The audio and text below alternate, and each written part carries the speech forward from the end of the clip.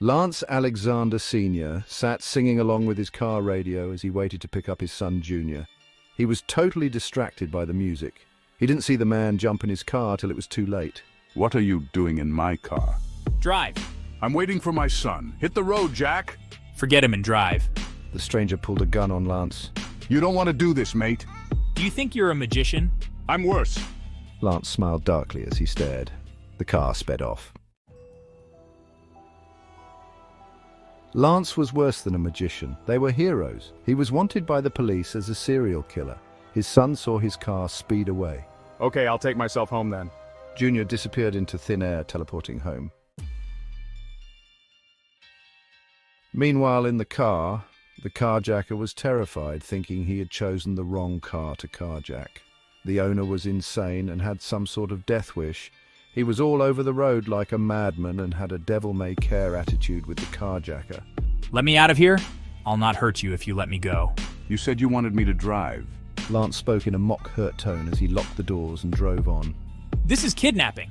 You should have thought of that before you kidnapped me. You're a madman. I've been called that before. Lance skidded the car to a stop to let a duck family cross the road and sped off when they were gone. This confused the carjacker. Why bother the innocents? Lance read the bandit's mind. A while later,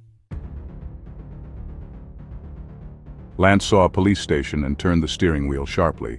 Are you insane? asked the carjacker. Seeing what Lance was doing, he let out a blood-curdling loud scream. Meanwhile, two policemen were talking about the odd scream they heard outside as they had lunch and were wondering if they should go out and check it. Lance looked like a madman totally now as he drove his car into the police station. As they were about to crash, the carjacker closed his eyes, What just happened? said the first policeman, hardly believing what had just happened. I don't know. said the second. Out of the office came the officer in charge of the station, walking to the car. What is this car doing in here?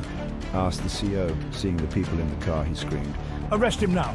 I can't open the door, let alone arrest anyone. Allow me. said Lance, teleporting the car away. Lance and the carjacker appeared in empty desk chairs. The carjacker had fainted. What is the meaning of this enchanter?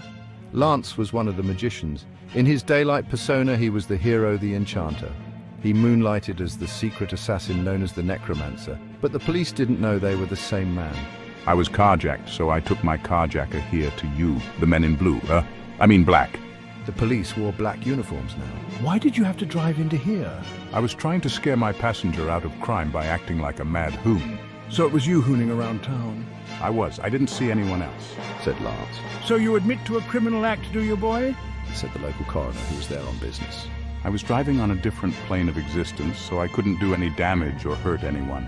So that's how you drove the car in here without ruining the place or anyone. Yes? I said arrest him.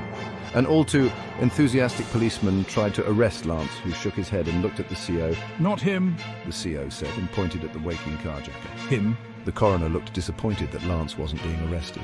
One day, Dad, in your dreams. Said Lance in the head of the coroner, his father, who knew his son's secret. He's a madman. Take me away from him. I want to go back to prison. The carjacker was a prison escapee, that was why he'd carjacked to run. He was returned to prison happily, and Lance lost two demerit points off his license for bad driving.